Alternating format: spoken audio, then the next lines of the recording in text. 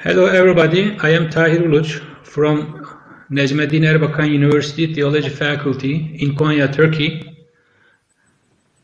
We are having now an international symposium on religion and civilization in the Middle East. We have three participants who are going to make their presentations on their topics. First, we are going to have Dr. Anthony Edwards from Virginia, from America. He is going to give his lecture, his presentation on entitled Ordinary Orientalism Knowledge and the US UK Lecture Circuit of Gregory M. Wortabet. And then we are going to have Dr. Yahya Sabbaghchi. The title of his presentation and paper is Comparative Study of Galtung's Structural Peace and Mullah Sadra's Justice. And finally, we are going to listen to Dr. Javad Dervish Aghajani. Both are from Iran, from Sharif University in Tehran, I think. Changing the view of the gen new generation of Muslim youth in the Middle East on religion and explain this change, a special study of contemporary Iran. And our program, because our since our program is being supposed to start at 6.30. I don't want to delay anymore, and I would like to give the word, uh, the microphone to Dr. Anthony Edwards to make his presentation. Doctor, welcome. Thank you. And we are glad to have you, and we look forward to hearing your presentation. Please go ahead. Thank you very much. Uh, I was unable to upload the slides, but I was able to upload the PDF of the slides to the files option. I don't know, does that work? Abdul Samad, you know, uh, Dr. Anthony, could he, can he upload the paper? Now is uploading. PDF? Mm -hmm. Is it not possible? Yes, it's loading. Uh -huh. I think uh, we need uh, two minutes, then we can share it. Mm. Okay.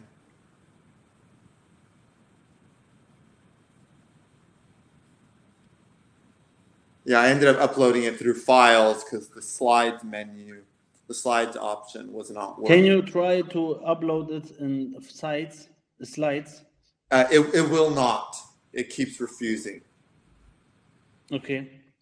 Uh, also, you can uh, send it per email to me. Uh, okay. To then I can share it. Okay. Uh, what is your email address? Uh, Abe. A. Or I'm writing in the chat. Wait a minute, please. Oh, okay.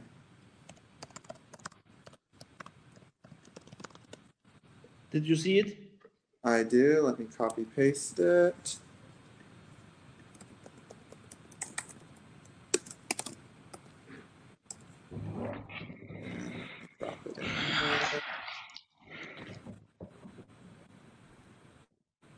Okay, just sent.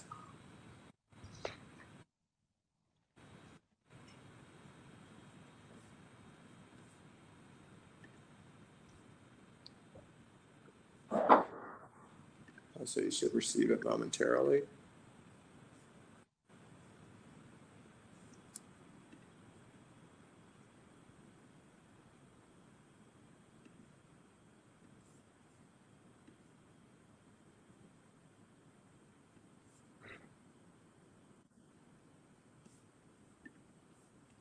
Success or not?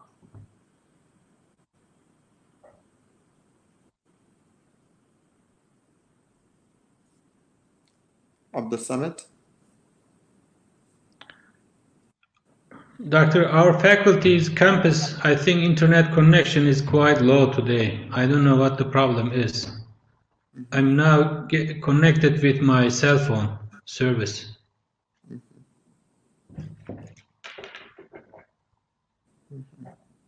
All right. Well, I I can just proceed without the pre without the visuals, and we'll go from there. How's that? It's okay for me, doctor, if you are comfortable. Yeah, with we'll, that we'll make version. It. We are, you know, uh, we would like to hear you anyway. Yeah. Yeah, we will make it work. So thank you very much for having me, and I'm excited to share my research. This is actually new research for me. I've been collecting a lot of the data, but I haven't got to analyze it yet. So, as the title says, Ordinary Orientalism uh, Knowledge in the US UK Lecture Circuit of Gregory M. Wortabet. Uh, I decided for the presentation, I'm just going to focus on the US portion, not the UK portion, because I found so many rich sources that I just didn't have time to look at all of it. Uh, basically, what I'm going to do today is I'm going to give you a brief biography of Gregory M. Wortabet. Uh, nothing has ever been written about him, minus a 10 page article, which is based off a travelogue of his. So he's kind of silent in the literature on Arab intellectualism in the 19th century. After I give you a brief uh, biography of him, I'm going to present a profile of him as a person, try to tease out some aspects of his identity, his character, and his personality. And then lastly, the bulk of the presentation is going to be on his lecture circuit, uh, specifically on the knowledge and the information about the Middle East that he shared to an excited and anxious American audience in the 19th century, and then also look at the performative values of his uh, presentations and lectures. Uh, this research, I'm framing it within two strands of current scholarship. One strand is the transmission of knowledge, uh, specifically around lecture circuits of the 19th century. There were, uh, we all know about the Lyceum structure in the United States and throughout Europe, not to mention just the public orations that were happening throughout the Middle East. Uh, secondly, uh, oh, and it popped up. Excellent let's see, how can I go to the next slide? There we go. All right, there we go. So yeah, so I'm framing it within uh, transmission of knowledge, and as you can see, some very recent studies on the Lyceum and also lecturing across North America and the Atlantic in the UK. But then also specifically, there's work being done on how the United States in the 19th century learned about the Middle East and engaged with it. Because, of course, there's the Bible and there's texts, but then in the 19th century, we have people doing pilgrimages, coming back and telling their experiences there, and then, of course, writing travel logs. Uh, the current research very much focuses on the textual creation of knowledge about the Middle East and sharing that among the American population my research kind of looks at how information about the Middle East was shared with 19th century Americans, but orally in a listening format. So let's look at who Gregory M. Wortabet was. And this is a picture of him from his travelogue that he published in 1856. So Gregory Wortabet uh, was born Grigor Wortabet in 1828 in Malta. Uh, his father was an Armenian clergyman and among the first converts to Protestantism. Uh, I side note, I have no idea what the M stands for. Uh, Gregory M. Wortabet seems to have given himself that middle name, or that middle initial. I cannot find out at all what it stands for. And he probably gave it to himself to distinguish himself from his father, whose name was also Grigor Wortabet. It's the exact same name. Uh, born in 1828, he was educated by the American Protestant missionaries in Beirut from 1835 to 42. Uh, and during that time, he became a ward of the missionaries because his father passed away. So the missionaries took it upon themselves to educate Gregory along with his two other brothers and his sisters. Uh, around 1846, 1847, and throughout the 1850s, he became a traveler and a merchant. Uh, he labeled himself that. You find that in ship logs and also in a UK census record. Uh, uh, then uh, throughout the 1850s is when he did these lectures. He traveled to the US twice, traveled to the UK twice, and returned to Syria for a period of time for what is that, about four and a half months.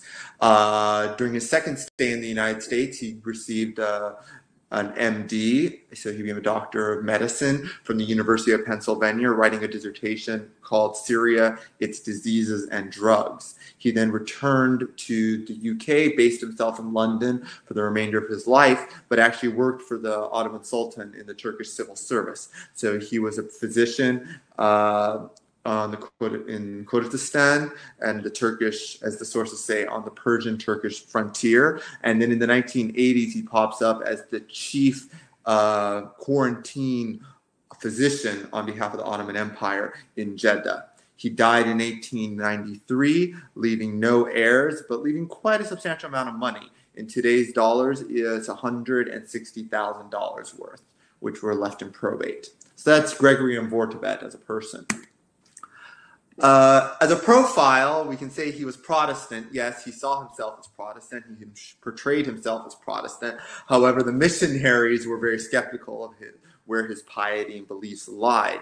Uh, as a child, uh, when he was a child, they wrote that there's a sincere wish that he becomes a disciple of Christ. But then later on, uh, when he was a young man, they said, "quote He is a wandering, wayward youth."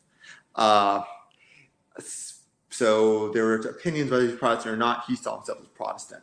I found it interesting. He was an abolitionist, and very much when he was in the UK, was engaged in the abolitionist effort, uh, speaking passionately about the needs to end slavery and spoke about the need to financially uh, strangle this institution by way of boycotts on tobacco and cotton products. Uh, by way of his character and personality, he was quite an independent person. He left his family and friends and basically traveled the world on his own. He was also rebellious, though, and quite independent, uh, individualistic, and defied expectations. He was Protestant, but he drank alcohol and he smoked tobacco which was certainly to the disapproval of the Protestant missionaries. He was an affable, very congenial charming personality. Throughout his travels, he seems to have cultivated friendships well. Uh, when he was in the United States, for example, he spent a couple of days with the governor of Wisconsin, just and the governor of Wisconsin showed him around the area. Uh, he was also quite resourceful and quite clever. Uh, he was good at maintaining relationships and also using situations to his advantage. For example, he got in some legal problems when he was in the United Kingdom, uh, being called out by the resident Ottoman director and was called a fraud. And he hightailed himself out of the United K, uh, out of the United Kingdom, and went to the United States, where he started this lecture circuit. So in the end of the day, he knew how to make things work for himself. So after getting in trouble in the United Kingdom, being called out by the Ottoman minister in residence, we find him in the United States, where he arrives in uh, 18 in uh, late April 1852, and that's where we began his lecture circuit.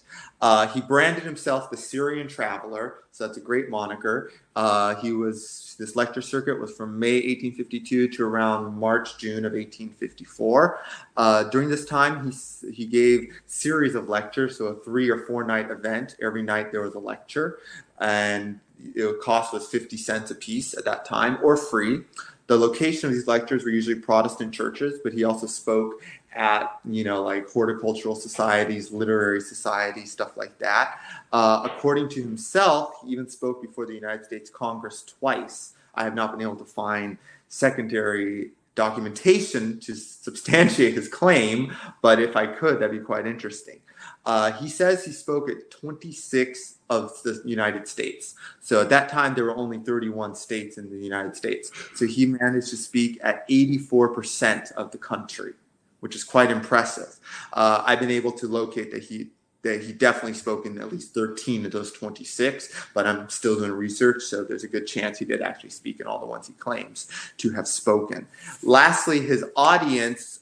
Uh, we don't have any numbers from his U.S. tour, but uh, when he spoke in Halifax, up in Nova Scotia, Canada, uh, in 1856, uh, the newspaper reports that there were almost 1,600 people in attendance. So we're talking 1,600 people on one night heard him speak. So if we think about, okay, that was one night in Halifax, how did that look in churches and literary and cultural societies across the US? There were a good number of people who came and listened to the Syrian traveler speak. So, what exactly did he talk about?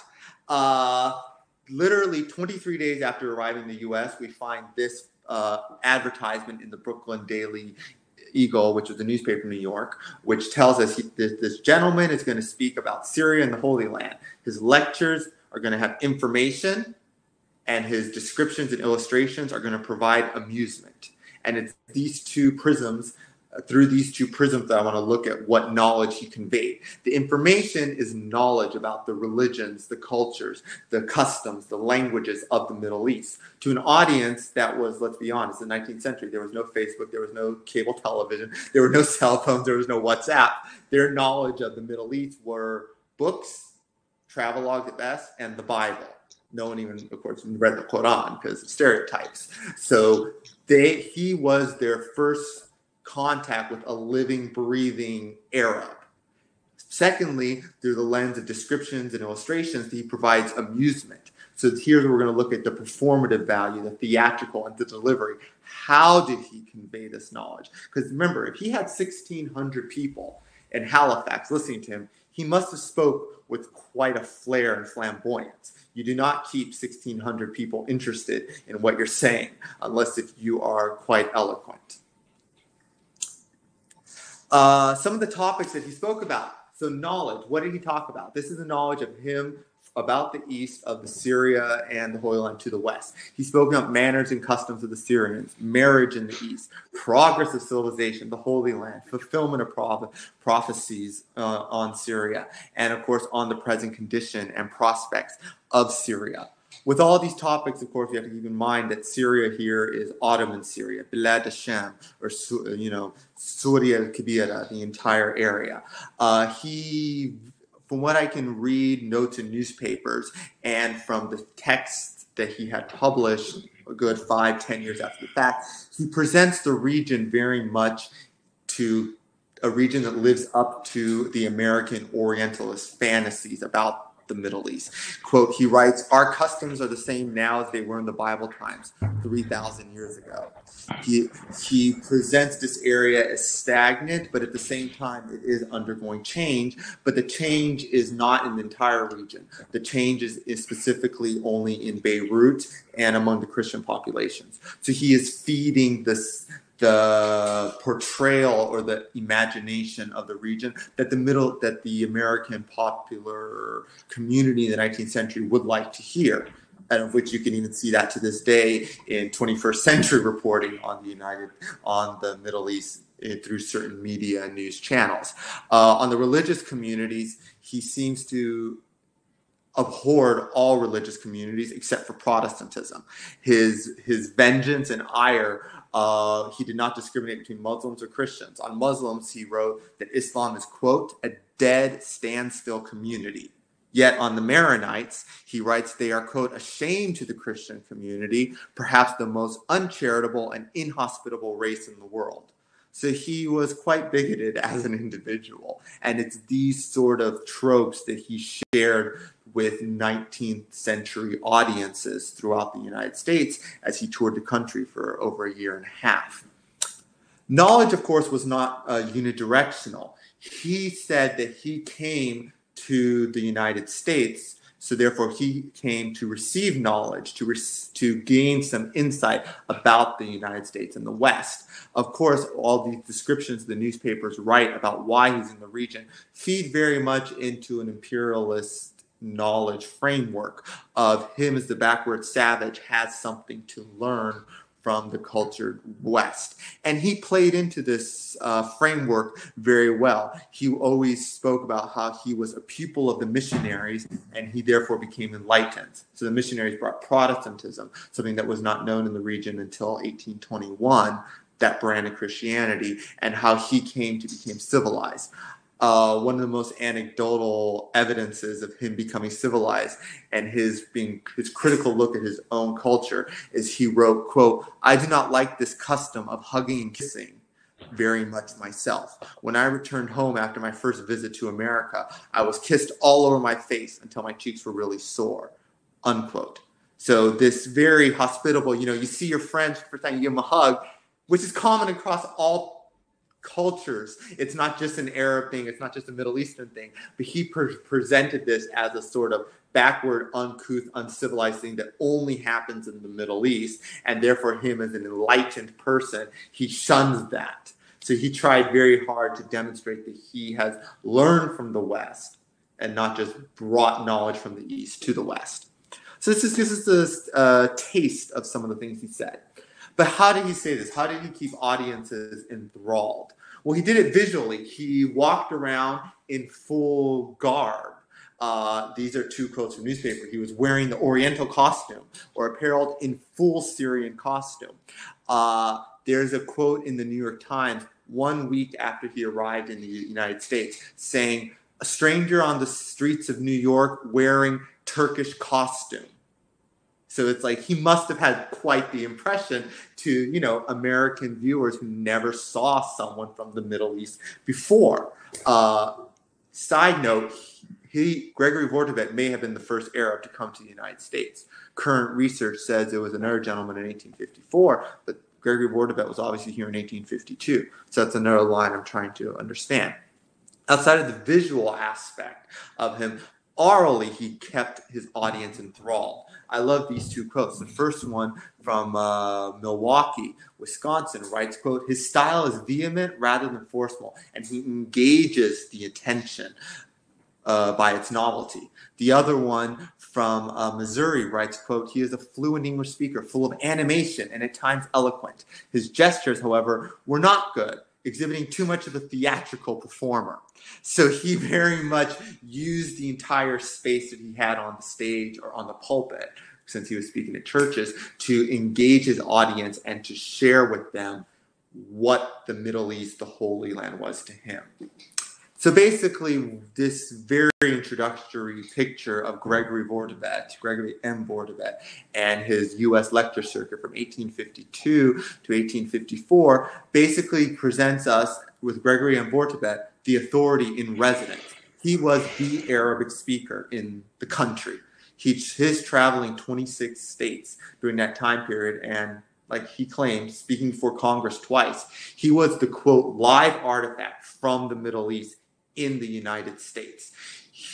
As that live, living, breathing artifact, he verified popular American beliefs in the civilizing benefit of Protestantism. And also, he affirmed stereotypes about the Middle East, unfortunately, culture, religion, etc. Many of the stereotypes which we still see in popular media coverage of the region, and the last 20 years, unfortunately, are an example of that. So thank you very much for listening. Thank you, Doctor, for your presentation. This was a very interesting presentation. I myself spent a couple of time, a couple of months at Hartford Seminary, and read all uh, all what the missionaries wrote about the Middle East in the Muslim World Journal. Mm-hmm. One of the, I think, oldest uh, bases in North America and actually, I know such uh, missionaries. But, uh, Doctor, may I ask just one question? You yes, know, Why he? Why did he act like this? Why, you know, he chose to play into uh, the, the hands of? Uh, did he just say what people wanted to hear, or why was it? Did yeah, you think that what, he? What, what, why did he yeah, was these stereotypes? Yes. Uh, unfortunately, he left no private records, so we have to read what he wrote for the public or what newspapers wrote about him. My suspicion is, and like I said, his personality, he was very resourceful. He was going to do whatever benefited him, and to make money and pay for his travels, he realized he needed to engage an audience. So by affirming stereotypes, he drew people in, they gave money to listen to him, go. So it's kind of like nowadays, why do people say something that's, uh, what's the word I want? Scandalous, because it it it agitates, but it also gets you an audience. It gets you a soapbox, and then people will listen. Yeah. Okay, he is a clever person. That's clear. Yeah, and he's very clever. And and his personality is quite different from the other missionaries from North America. He is very different. Exactly, knows, which is why the and which is why the Protestant missionaries very much shunned him. There are mm-hmm. letters from the missionaries back to their family in the United States who mention, you know, this wandering youth is visiting the United States. Do treat him kindly, but be very wary of him. Mm-hmm. So Yeah. in, interesting personality. Doctor, thank you very much for this uh, No, you. insightful presentation. And other our other uh, participants, Dr. Yahya Sabbaghchi and Jawad Dervish Aghajani. Are you there, doctors? Uh, I'm here. Uh, it was a, an interesting presentation. Uh, actually, uh, uh, the issue of missionaries is a controversial issue. Especially, I remember some months ago, I had to write a paper for a center in Oxford, um, which works on Christian-Muslim relations, and we had some different uh, viewpoints about missionaries actually. Uh, me as a muslim and they uh, who were mostly christians. uh, and i think uh, works on missionaries uh, need to be more and more because there are very very different aspects and different persons different personalities uh, in some in uh, missionaries actually.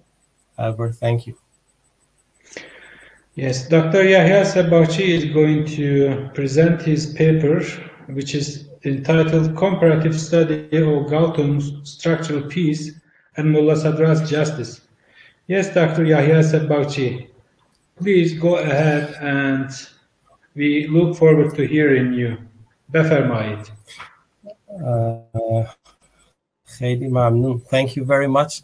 Uh, actually, uh, I, uh, I have done a joint work with my colleague uh, on the topic you mentioned and um, she will present the paper I'm of course present here and we will any we will answer any question after uh, her presentation so uh, I will ask her to uh, present the paper. And we have, of course, uh, some uh, slides, which I will share our screen for you. Thank you.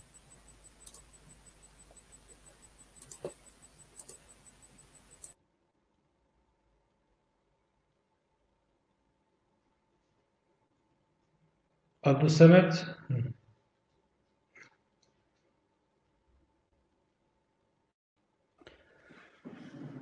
We can we can see your presentation. Yes, I can see. Can continue.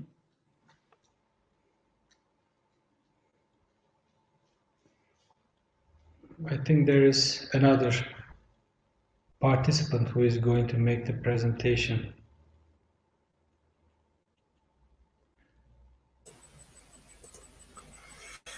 Uh, okay, just yes.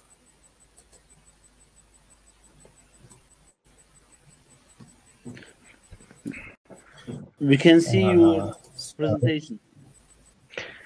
Yes. Mrs. Taiba, you can start. Thank you.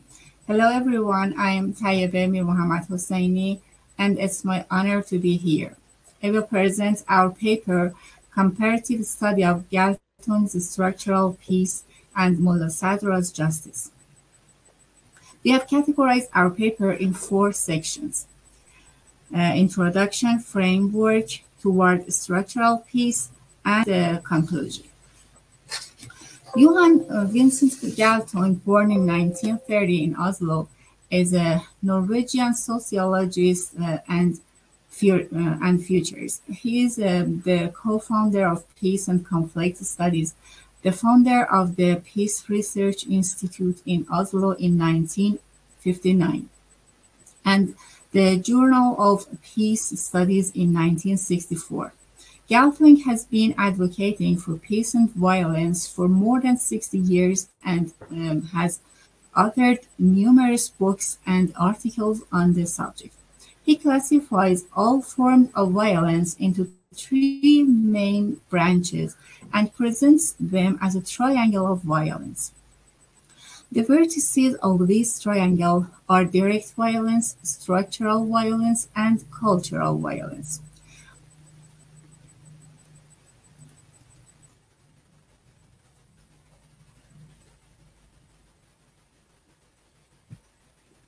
Direct violence violence violates human needs with the intent to uh, persecute. Structural violence refers to, to persecute. Structural violence refers to forms of violence that are rooted in certain social structures uh, or institutions. And then structures uh, harm individuals by depriving them of their funda fundamental rights and ultimately culture, cultural violence is symbolic and legitimize, legitimizes the former two categories.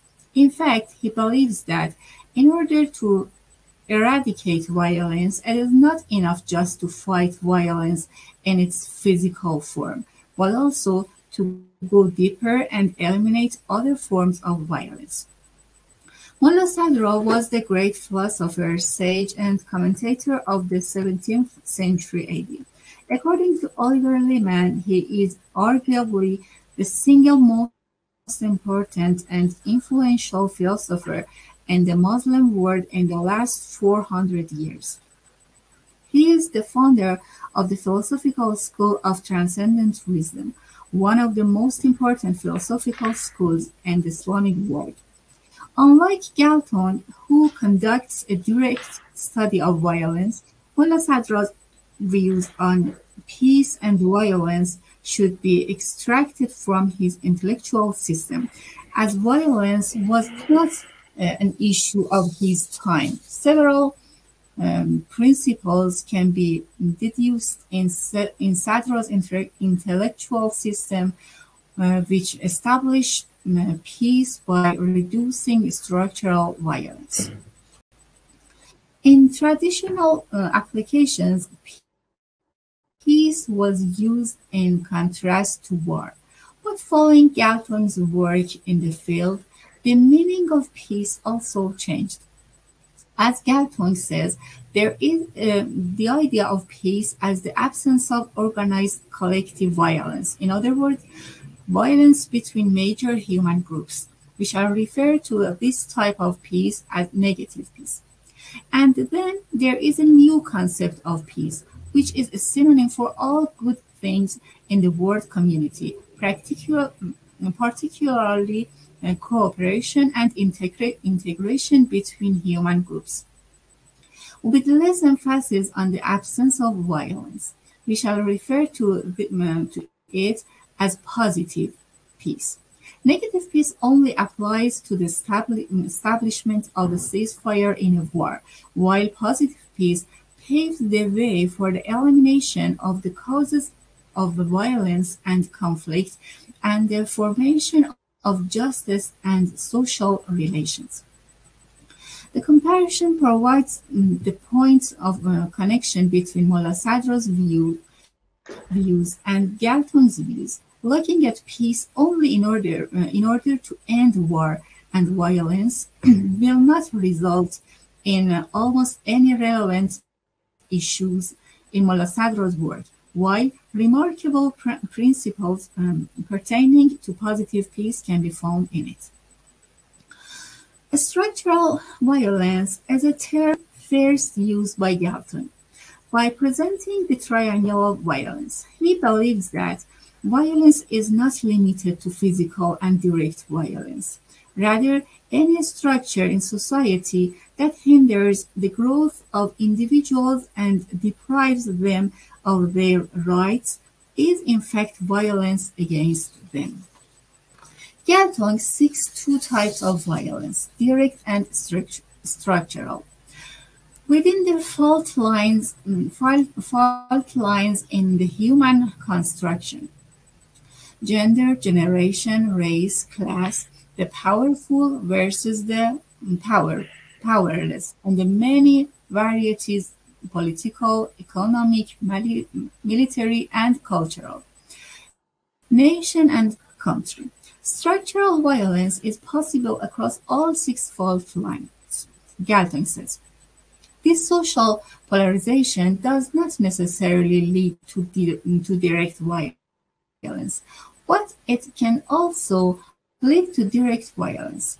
If those lower down are really hurt or harmed and their basic needs are deeply insulted.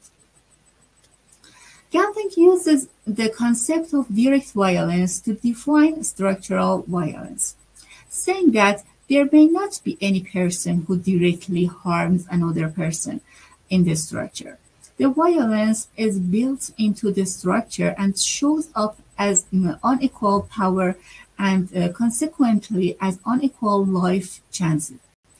In this form of violence, resources are unevenly distributed, as when income distributions are heavily, he, are heavily skewed. Literacy education unevenly distributed.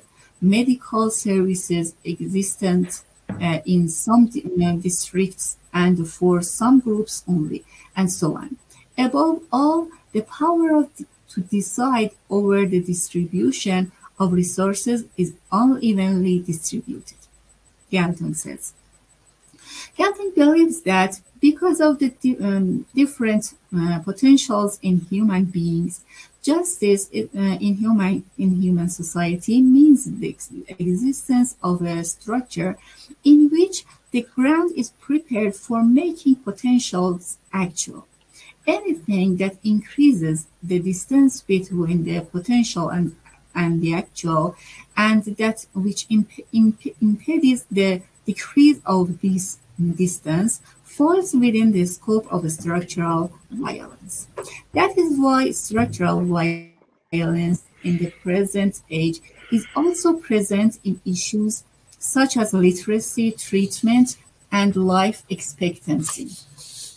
The, abs um, the uh, absence of such cases, while the ground for um, their reali realization is prepared in the present age uh, in an example of structural violence.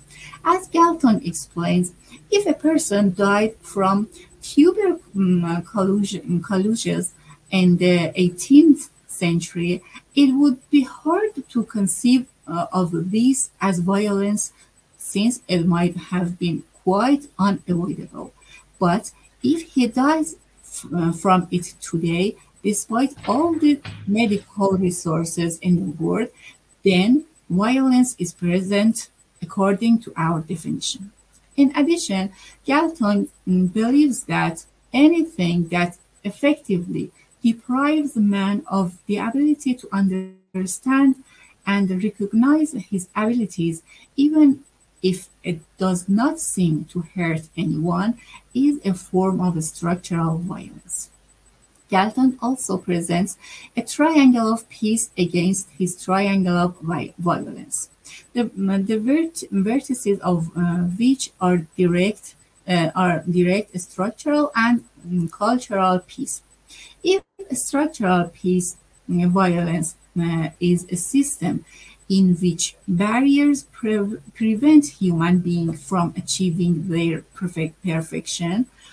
Structural peace is a, the condition in which every human being with all their potentials are capable um, and capabilities can achieve self-fulfillment and actualize their potential abilities.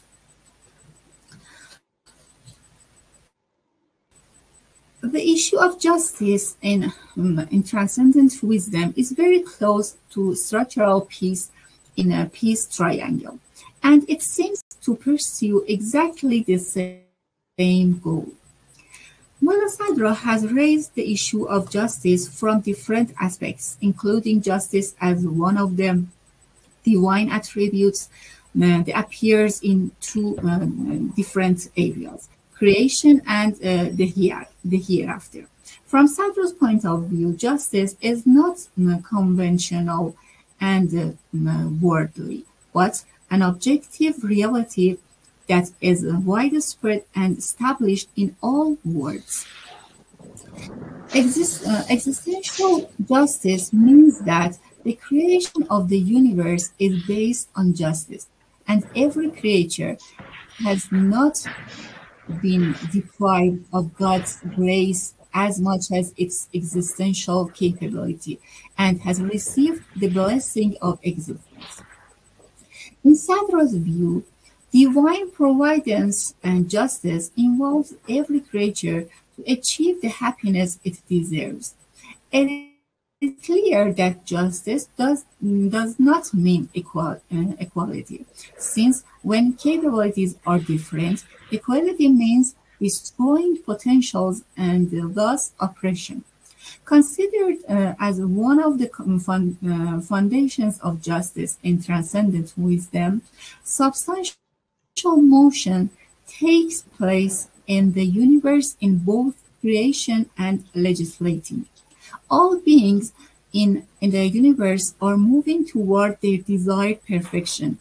Therefore, it is impossible that the majority of individuals in a kind fail to achieve the goal for which they were created because it involves dominant or permanent uh, or, uh, or permanent compulsion while the compulsion is neither permanent nor dominant.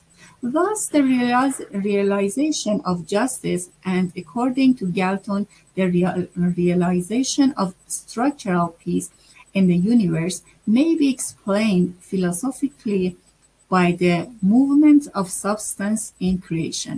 That is, every creature receives that uh, receives what it deserves without uh, discrimination and achieves its desired perfection.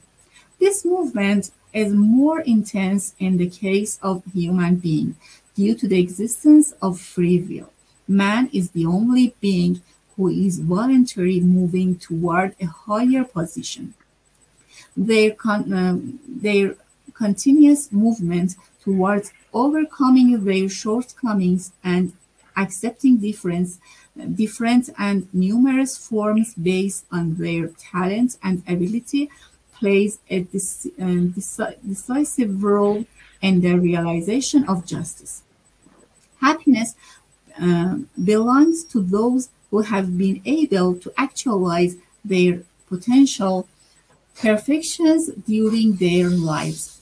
Following the religious view, Sadra believes that one of the types of justice is to take care of abilities and make them flourish, while a clear example of self oppression is forgetting oneself and neglecting, neglecting the original goal of man in the world. Sadra's emphasis on the connection between the flourishing of human capabilities and their happiness that is the happiness of the hereafter and not merely the worldly happiness, can be interpreted in Galtung's intellectual framework.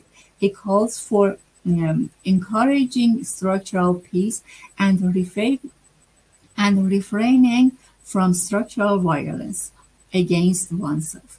According to Galtung's theory, if human beings refuse voluntarily, voluntarily to follow the path of um, turning imperfection into perfection, they have applied structural violence to themselves. legislative justice, which is more relevant to the peace studies, um, encomp- encompasses human being with uh, authority and will, and includes both internal and external dominate, dominate, uh, dimensions. Uh, therefore, it can be uh, examined both individually and socially. This aspect of justice can be divided into two forms, exist, existential and social. Mullah Sadra considers existential justice an important aspect of human perfection uh, which flourishes, flourishes human capabilities. In his view, the uh, practical way to achieve uh, existential justice is uh, to acquire good moods uh, which lead to happiness. He sees justice and morality in uh, perfect um, harmony and states that if uh, justice is achieved as the basis of morality in the human soul. Excuse me. Excuse me, Dr. Taibe, you know, your time is quite limited. We, uh, my colleagues now, they are warning me to ask you to keep your presentation a bit shorter. Thank you. I'm sorry Yeah, for okay. interrupting you. Okay, okay, okay. Uh, okay, I uh, I will say the conclusion and um, will end the present. Thank you. Uh, to conclude, it can be said that what Sadra considers to be the ultimate goal of uh, creation uh, is man's uh, attainment of the position of God's vicegerent and getting close to God's mercy. This ultimate goal requires several in, um, inter, intermediate goals, without which uh, it is impossible to achieve the ultimate one. All these inter, uh, intermediate goals need peace to be reached, and from Sadra's point of view, justice or structural peace is the ground for achieving these goals. Without justice, not only no perfection will be achieved, but also the fall of man into the regression of anger, uh, resentment, and enmity and corruption uh, is inevitable. Thank you for noticing. Dr. Taiba and Dr. Yahya, thank you, both of you, for this presentation. And in Turkey, I also would, would like to say that there is a there is an uh, uh, increase in interest in Mullah Sadra's Al-Hikmah Al-Muta'aliya, the transcendent philosophy. Myself also, I have a great interest in his Al-Asfar uh, Al-Arba'a, which has been also recently translated into Turkish. And nowadays, I am also actually studying Dawood Qaysari's Sharh on Ibn Arabi's Fusus al-Hikam with uh, uh, Hassanzadeh Amuli's edition and Jalaluddin Ashtiyani's. I'm very glad to hear such a presentation, and that's very lovely and insightful presentation. Thank you very much. Uh, thank you, Thank you. Professor. Uh, I'm uh, real glad to hear that uh, uh, you are familiar completely with uh, these uh, philosophical and mystical works, as you mentioned, Al-Asfar Al-Arba and Fusus al-Hikam and Hassanzadeh Amuli and Ashtiani.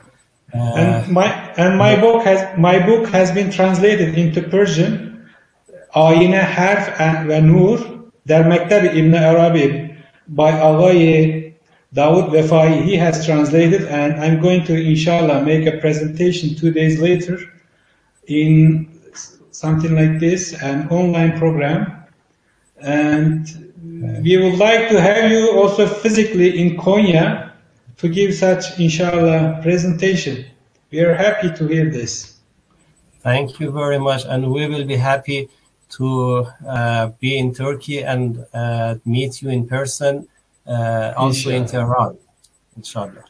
Inshallah. I spent I spent some time in Tehran at Imam Sadiq University for a couple of months there, studying Persian and Islamic philosophy, Ishraqi and Mashai. I translated some books into uh, Turkish, you know, Hassan Melishahi's Sharh on Isharat, and then I translated Hikmatul Ishraq, Sharh Hikmatul Ishraq by Shahrazuri. I am very interested in Iranian contribution to Islamic philosophy. Thank you very much. Thank you very much. Thank It's you very much, nice too. where to meet you, and uh, I'm really glad to become familiar with you. Thank you. You are welcome. Now we are going to have Dr. Javad Darwish Aghajani. He is also from Iran, from university, from I think Sharif University in Tehran. I'm not sure if he is present. Did he show up, Abdul Samad? Hello, Abdul Samad. Uh, dear professor, he's online. I think uh, he will. Uh, Doc, doc, doctor, may you turn on your uh, microphone and ca- camera? We can't, we cannot hear you n- nor see you now. You are up. Hi. Hi. Professor. Hi, welcome. Nice to meet you. Thank you very much. Jawad, uh, Dr. Jawad Darwish Aghajani is going to make his presentation on changing the view of the new generation of Muslim youth in the Middle East on religion and explain this change, a special study of contemporary Iran. Yes, doctor, you have 15 minutes and we look forward to hearing you. Please go ahead. Microphone is yours. Okay, uh, thank you very much. I try to go to the first slide and uh, begin my presentation. Uh, thank you very much. Uh, Bismillah ar-Rahman ar-Rahim.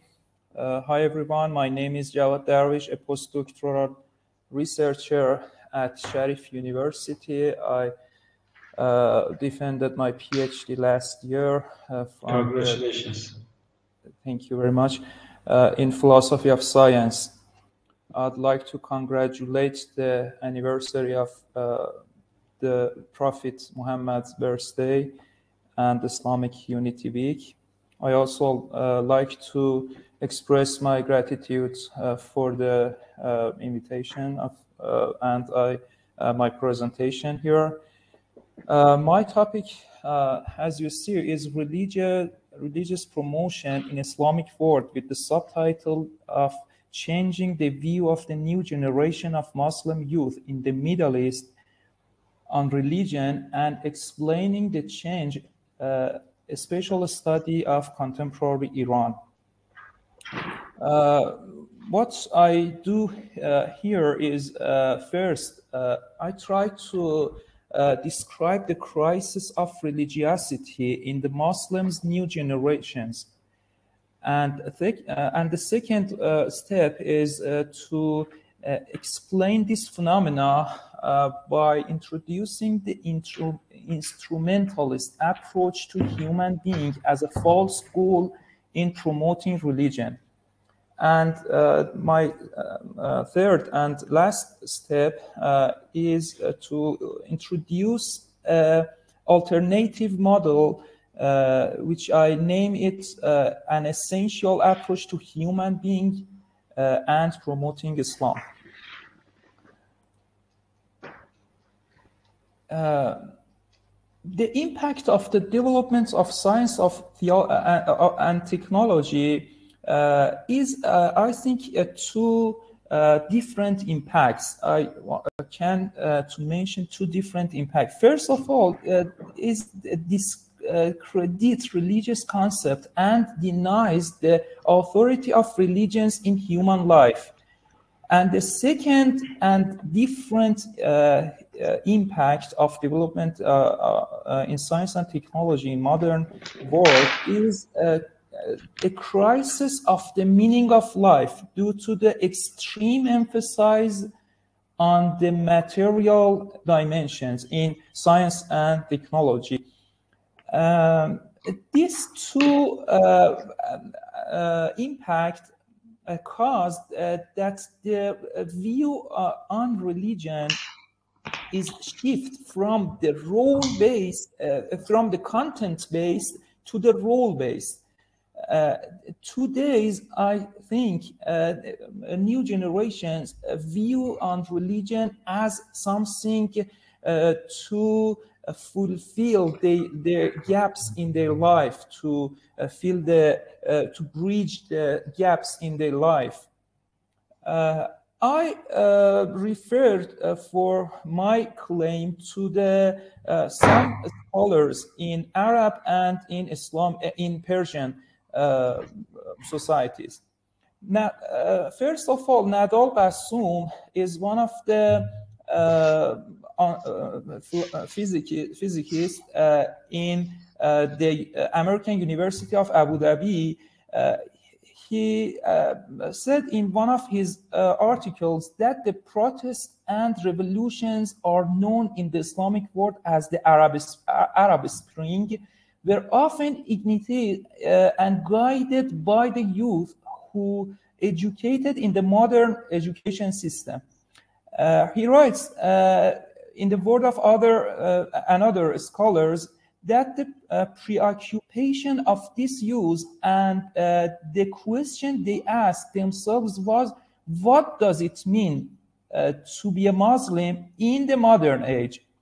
And what does Islam have to say about discoveries of modern cosmology and evolutionary biology?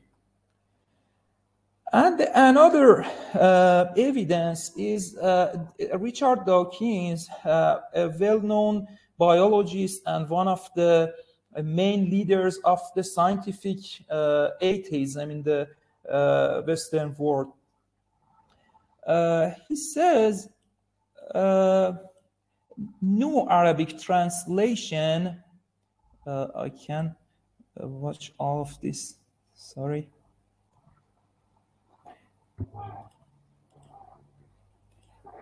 A new Arabic translation of the book, The God Delusion, is allowed to be published in Islamic uh, countries, but its illegal PDF file of the Arabic translation is available on the internet. This file, as he claimed, has been downloaded 10 million uh, times. Uh, and I think it's the evidence that uh, the interest of the new uh, views under religion, uh, even atheistic approach. Uh, there are two uh, different uh, uh, research in Iran about the situation of religiosity first, uh, Amir Nikbeh and Farhad Khosrow between 2001 and uh, 2003 in some uh, large cities of Iran conduct research and uh, they say among the uh, 17 to 35 year old interviewed, some fast but don't pray. Some don't believe in hijab, but they keep their hijab in front of us. Some say we pray according to our own needs and not according to the Sharia. Some say that music has replaced prayer for us. And they summarize and uh, they come to conclusion that the rationality, the type of reasoning, and the kind of education of most of the youth uh, we met are new they are not anti-religious, but they say that the religion does not have the role of the past, but can play a role alongside other social institu uh, institutions. And the other uh, research uh, said uh, on, av on average, 92% of response believe in the existence of God and the legitimacy of Islam. It's a very high uh, percentage, I think. But it's uh, interesting that uh, only 65% of them pray and fast, while the percentage of youth who sometimes fast and pray is in, also included in this average. Nearly half of Tehran youth believe that religion is limited to the private sphere and does not deserve to interfere in the public sphere. Uh, I summarized this uh, section uh, in, in this six uh, statement. First, traditional interpretation of religion are losing their authority. Second, uh, paying attention to the uh, function of religion is or in ordinary life is more than the content of religion. Third, the social and formal aspect of religion are much less important than the individual and spiritual aspects. Four, fundamental questions arising from development in science and te technology have uh, diminished the credibility of religion uh, knowledge, religious knowledge in the mind of the youth. Uh, fifth, the emergence of new form of religi religiosity, such as secular religiosity, spiritualism, and Satanism uh, responds to the need of uh, divinity while avoiding traditional religions. And six, new religions do not follow any specific and universal pattern. Uh, in, uh, in this part, I try to explain this phenomena uh, I think there are two factors uh, should be considered. First, uh, the, the, evolution of the modern world uh, and the uh, contemporary philosophy, philosophy, and theology increasingly mater materialistic and functionalistic. And because of the uh, uh, internet and uh, widespread communication of the Muslim youth, uh, they are aware uh, about uh, the new um, views in the world, in the Western world, in, in the mainstream philosophy, materialistic philosophy, physicalism, and the new views on religion. And the second factor is how to introduce and promote religion in Islamic uh, countries. Uh, I want to focus on the on this uh, uh factor, the second factor. I mean, uh, and uh, I distinguish between four approach in promoting Islam in Islamic countries. First, I name uh, I call a jurisprudential approach or fiqh or Sharia based approach. Second, theological approach or kalam based approach. Uh, third, ritual approach, and uh, the last one is political approach. Uh, I explain uh, uh, this approach separately in the following. Uh, what is a, a jurisprudential approach? Uh, uh, for example, Professor uh, Seyyed Hossein Nasr uh, said that the importance of Sharia in Islam is equal or it's comparable with the importance of theology in Christianity. Uh, we know that the uh, crucial role, significant role of the Sharia in Islam but what I mean here is that uh, the approach that uh, reduce the uh, whole uh, reduces whole of the Islam to this approach. Uh, is uh, I, I, I, want to mention to this point. This approach feature are, are law oriented law oriented obligatory formal and imitative and the negative consequences of the dominance of this approach in decisions and in procedures in, uh, in the Islamic societies and the communities uh, are, first of all, neglecting the internal and spiritual aspects of religion. Uh, I mean, when uh, the, uh, this approach is overcome and all of the, the whole of the Islamic uh, teachings are reduced to this approach. Uh, the internal and spiritual aspects uh, are neglected. The second was replacing the prescriptive and mandatory aspects uh, in promotion and uh, invitation to religion instead of the persuasive and argumentative aspects, as Quran emphasized. And the last one is neglecting the intellectual and epistemological aspects of religion due to the imitative nature of jurisprudential approach. Uh, the uh, second approach is uh, theological uh, or kalam or systemic theology in the philosophy of religion.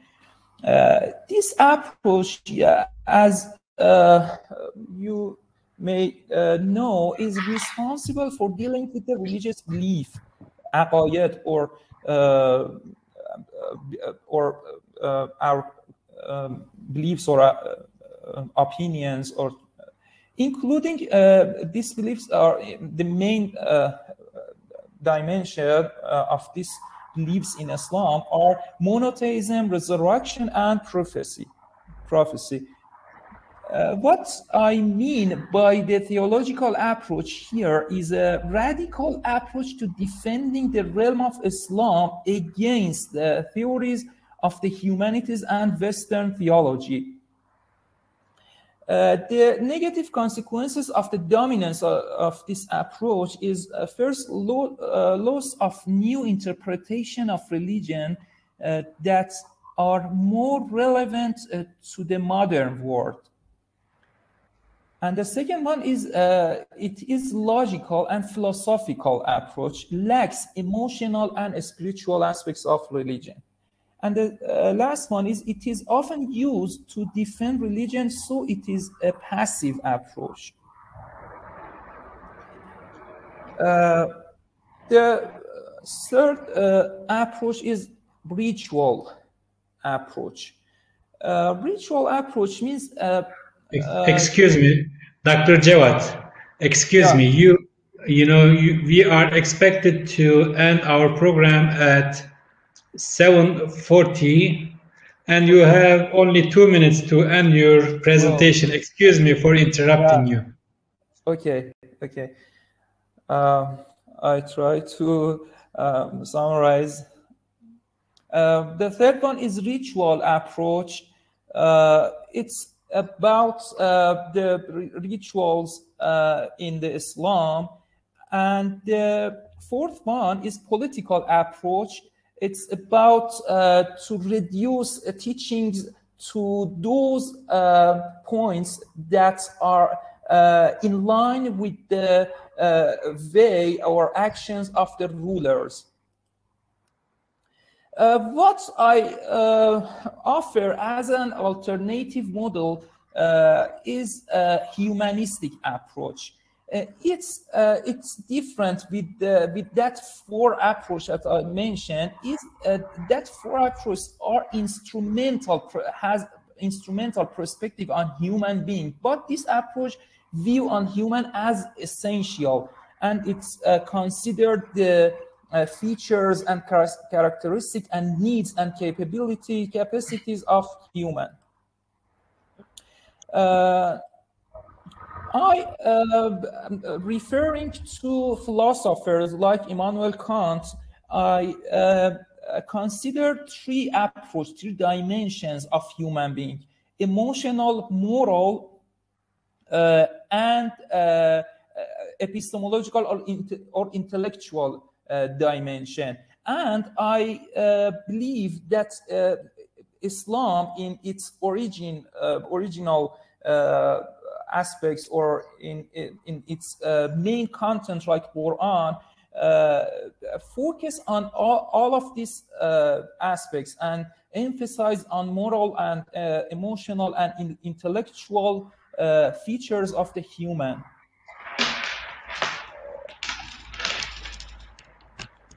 To conclusion, uh, I can say statistical research shows that religion has not been completely removed from Islamic society, but the model of religiosity has been reduced from an eternal and divine thing to the earthly and functioning thing. Two, there are four false and incomplete promotional approach in the Islamic world. Prudential approach, uh, theological approach, ritual approach, and political approach. Despite the differences between these approaches, uh, their shared feature was the instrumentalist on human. And the uh, final, the solution is to be moving uh, sorry, is to be moving uh, toward a humanistic approach in promotion in which man and his material uh, and spiritual needs are regarded original and religion has been revealed basically to meet this. I describe this approach based on three human dimensions, namely emotional, intellectual, and moral. Thank you for your attention.